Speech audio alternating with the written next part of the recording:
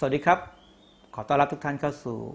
รายการชีวิตเปี่ยมล้นกับผมสมเกียรติลิบนาพิรักษ์วันนี้เราจะมาศึกษาพระธรรมของพระเจ้าในพระธรรมสองพงกษัตริย์ บทที่ 11 ข้อ1ถึง12 ด้วยกันครับ2พงศบทที่ 11 ข้อ1ถึง12 เมื่ออาธาริยาพระราชมารดาของอาหัสยา ทรงเห็นว่าพระราชโอรสของพระนางสิ้นพระชน พระนางก็ทรงตั้งต้นทำลายเชื้อพระวงศ์ทั้งสิ้น แต่เยโฮเชบาพระราชธิดาของกษัตริย์เยโฮรัม พระน้องนางของอาหัสยา ได้ลักลอบนำโยอาชพระราชโอรสของอาหัสยา ไปจากท่ามกลางบรรดาพระราชโอรสของพระราชา ซึ่งต้องถูกประหาร และพระนางก็เก็บพระราชโอรส และพระพี่เลี้ยงไว้ในห้องนอน ดังนั้นพวกเขาซ่อนพระราชโอรสเสียจากอาธาริยา พระราชโอรสจึงไม่ถูกประหารชีวิต และพระราชโอรสอยู่กับพระพี่เลี้ยง ในพระนิเวศของพระยาเว และซ่อนตัวอยู่หกปี ในขณะที่อาธาริยาทรงครองแผ่นดิน แต่ในปีที่เจ็ดเยโฮยาดาได้ใช้คนไปตามบรรดานายร้อยของพวกคารี และของพวกทหารรักษาพระองค์ ให้มาหาท่านในพระนิเวศของพระยาเว และท่านได้ทำพันธสัญญากับเขาทั้งหลาย และให้พวกเขาสาบานในพระนิเวศของพระยาเว และท่านได้นำพระโอรสของพระราชามาให้เขาเห็น และท่านกำชับเขาทั้งหลายว่า นี่เป็นสิ่งที่ท่านทั้งหลายพึงทำคือ ผู้เข้าเวรวันสบาโต กลุ่มหนึ่งให้เป็นผู้เฝ้าพระราชวัง อีกกลุ่มหนึ่งให้ประจำอยู่ที่ประตูศูนย์ และอีกกลุ่มหนึ่งให้ประจำอยู่ที่ประตูข้างหลังทหารรักษาพระองค์ ให้เฝ้าพระราชวังเพื่อป้องกันรักษา ส่วนท่านทั้งหลายอีกสองพวก คือผู้ที่ออกเวรวันสบาโต ให้เฝ้าพระนิเวศของพระยาเวรอบพระราชา ท่านทั้งหลายจงล้อมพระราชาไว้โดยรอบ แต่ละคนมีอาวุธในมือ ผู้ที่เข้าใกล้แถวจะต้องถูกประหาร จงอยู่กับพระราชาเมื่อพระองค์เสด็จออกและเสด็จเข้า บรรดานายร้อยก็ได้ทำทุกสิ่งตามที่เยโฮยาดาปุโรหิตสั่งไว้ ต่างก็นำคนของตนที่จะเข้าเวรวันสะบาโต พร้อมกับคนที่จะออกเวรวันสะบาโตนั้นมาหาเยโฮยาดาปุโรหิต และปุโรหิตก็มอบหอกและโล่ซึ่งเป็นของกษัตริย์ดาวิดนั้น ที่อยู่ในพระนิเวศของพระยาเวแก่บรรดานายร้อย และทหารรักษาพระองค์แต่ละคนยืนประจำอยู่ มีอาวุธในมือ ตั้งแต่ด้านขวาของพระนิเวศไปถึงด้านซ้ายของพระนิเวศ บริเวณแท่นบูชาและพระนิเวศล้อมรอบพระราชา ท่านก็นำโอรสของพระราชาออกมาและสวมมงกุฎให้ แล้วมอบพระโอวาทให้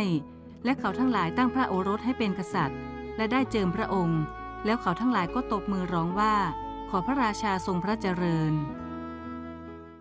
จากพระธรรมของพระเจ้าในตอนนี้ข้อสำคัญอยู่ที่ข้อที่3และ พระราชโอรส อยู่กับพระพี่เลี้ยงในพระนิเวศของพระยาเว และซ่อนตัวอยู่6ปี ในขณะที่อาธาริยาทรงครองแผ่นดิน พี่น้องนะครับ วันนี้เราเองอยากผมอยากเสนอให้พี่น้องหันกลับมาสนใจ เยาวชน อนุชน คนรุ่นใหม่ที่กำลังจะมาแทนที่เราถ้อยคำของพระเจ้าในตอนนี้ อยากให้เราได้มีโอกาสได้ถูกเตือนใจ จำเป็นที่เราเองจะต้องปกป้องอนุชนอนาคตของพวกเราเอาไว้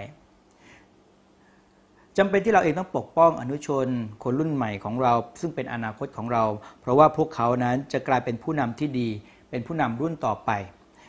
โยอาสกลายเป็นกษัตริย์ และเป็นผู้นำของยูดาห์ให้หันกลับมานมัสการพระเจ้า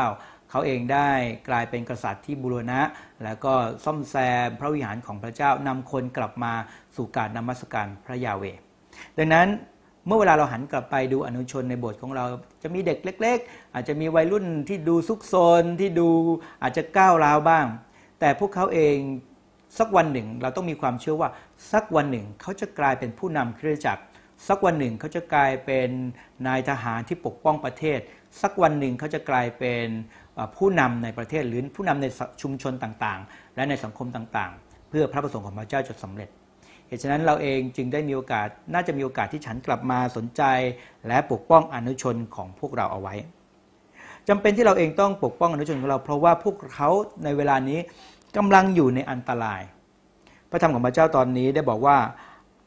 อาธาริยากำลังทำลาย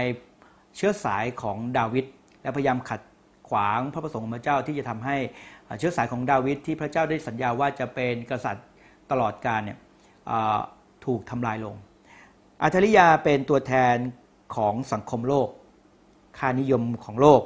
วัตถุนิยมที่กำลังทำลายจิตวิญญาณของอนุชนอาธาริยากำลังพยายามทำลายเชื้อสายของดาวิดในสมัยนั้นยังไง สังคมโลก ค่านิยมของโลก วัตถุนิยมก็กำลังทำลายจิตวิญญาณของวัยรุ่นหนุ่มสาวอนุชนในคริสตจักรของเราอย่างนั้นด้วยเช่นกัน สิ่งต่างๆ เหล่านี้กำลังพยายามขัดขวางการเจริญเติบโตฝ่ายวิญญาณ และการใช้ชีวิตของพวกเขากับพระเจ้า มารซาตานและโลกนี้ได้ให้กำลังทำให้อนุชนของพวกเรานั้นหันกลับไปสนใจวัตถุนิยม สนใจความสนุกสนานความบันเทิง ออกนอกน้ำพระทัยของพระเจ้า ไม่สนใจแผนงานแห่งการช่วยรอดของพระเจ้า หรือการที่จะรับภาระหรือรับผิดชอบต่อภาระหน้าที่ที่พระเจ้าจะมอบให้เราเองนะ ให้เขาเหล่านั้นเนี่ยเข้าไปช่วยเหลือคนทั้งหลายพี่น้องรักครับ ทุกๆ ปีของเราเราสูญเสียอนุชนในโบสถ์ไปกับเรื่องอะไรบ้าง เราเองสูญเสียอนุชนในโบสถ์ไปกับร้านเกม ไปกับคาราโอเกะคอนเสิร์ตจิตใจของอนุชนของเรากำลังถูกทำให้ออกห่างจากคำสอนของพระเยซูคริสต์ไหมจำเป็นที่เราต้องหันกลับมาปกป้องอนุชนคนรุ่นใหม่ ผู้นำรุ่นใหม่ของเรา คนของพระเจ้ารุ่นใหม่ของเรา เพราะนี่เป็นวาระแห่งชาติ เป็นวาระที่พวกเราเองจะต้องร่วมไม้ร่วมมือ ในสมัยของโยอาด เยโฮยาดา ผู้นำฝ่ายจิตวิญญาณแห่งความเชื่อ ได้นำพาผู้นำทางทหาร ผู้ที่มีกำลังพลเพื่อจะปกป้องดูแล นอกจากนั้นยังคงมีการร่วมมือในเรื่องของการเป็นกับพระผู้พระพี่เลี้ยง หรือผู้ที่คอยอภิบาลคอยสอน เราพบว่าทั้งผู้นำศาสนา ผู้นำในสังคม ที่มีกำลังพลพลังอำนาจมาก และก็ผู้ที่มีใจแห่งการอภิบาลเลี้ยงดู ได้ใช้โอกาสในเวลานั้น เพื่อที่จะประคบประงม ปกป้องดูแลโยอาดจนโยอาดได้กลายเป็นกษัตริย์ที่นำพาความเจริญ และนำพาอิสราเอลกลับมาอยู่ในน้ำพระทัยของพระเจ้า พี่น้องทครับ วันนี้คริสตจักรของเราได้ให้ความสำคัญกับอนุชนในโบสถ์ของเราบ้างไหมและให้อย่างไร หลายครั้งอนุชนของพวกเราเองถูกคิดถึงเมื่อมีเทศกาลอย่างเช่น คริสต์มาสเพราะอะไรครับ เพราะพวกเขามีแรงเราต้องการชื่นชมเขาเพราะเขามีแรงมากเพราะเขาจะมาทำกิจกรรมให้กับเราเราเองจะเหนื่อยน้อยมาก แต่หลังจากนั้นเราสนใจเขาอย่างไง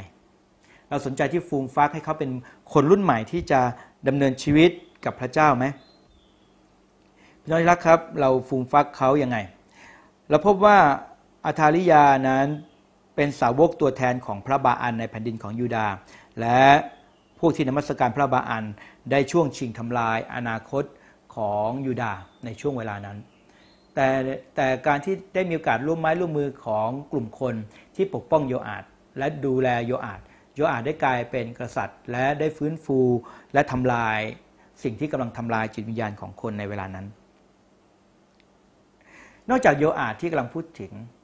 วันนี้คิดถึงใครอีกครับ ผมคิดถึงโมเสสเมื่อโมเสสเองได้เกิดขึ้นมา ด้วยความเชื่อ พ่อและแม่ของโมเสสได้ซ่อนโมเสสเอาไว้ สุดท้ายเขากลายมาเป็นผู้นำในการเปลี่ยนแปลงในการโยกย้ายคนและทำให้คนมาสู่พระพรของพระเจ้าในแผ่นดินคานาอันนอกจากโมเสสแล้ว นอกจากเยโฮอาชแล้ว เราคิดถึงเด็กอีกคนหนึ่ง ซึ่งมารีและโยเซฟได้ปกป้องเอาไว้ นั่นคือพระเยซูคริสต์เพื่อปกป้องพระเยซูคริสต์จากการทำลายล้างของเฮโรดพระเยซูคริสต์จึงได้นำความรอดไปสู่คนทั้งหลาย พี่น้องที่รักครับ เราหันกลับไปดูนชนของเราเนาะวันหนึ่งพวกเขาจะเป็นผู้นำวันหนึ่งพวกเขาจะเป็นปุโรหิต วันหนึ่งพวกเขาเองจะเป็นคนที่จะนำความรอดไปสู่อีกคนอีกรุ่นหนึ่ง ให้เราเองมีสายตาความคิดอย่างนี้ เพื่อเราเองจะได้พัฒนาและดูแลและปกป้องอนุชนของเรา ที่ไหนทำแล้ว ดูแลดีแล้ว ขอบคุณพระเจ้า ที่ไหนก็ตามที่ได้ละเลย ขอให้เรากลับใจ ขอพระเจ้าอวยพรนะครับ